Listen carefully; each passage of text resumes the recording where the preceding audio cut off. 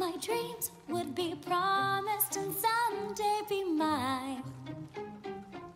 He told me that my power would grow like the grapes that.